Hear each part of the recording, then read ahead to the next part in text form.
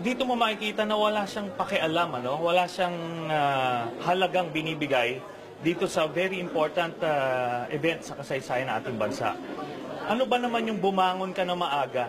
Dito mo wa- walang kadisiplina to sa katawan nitong mama na to eh. Kaya I, I, I'm very, very frustrated and disappointed na siya yung presidente natin. Dito mo makikita na wala siyang pakialam, ano? wala siyang ah, halagang binibigay dito sa very important ah, event sa kasaysayan ng ating bansa. Ano ba naman yung bumangon ka na maaga? Dito mo wa- walang kadisiplina to sa katawan nitong mama na to eh.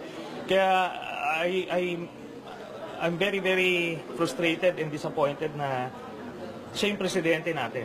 Dito mo makikita na wala siyang pakialam, ano? wala siyang ah, halagang binibigay dito sa very important ah, event sa kasaysayan ng ating bansa. Ano ba naman yung bumangon ka na maaga? Dito walang kadisiplina to sa katawan nitong mama na to eh.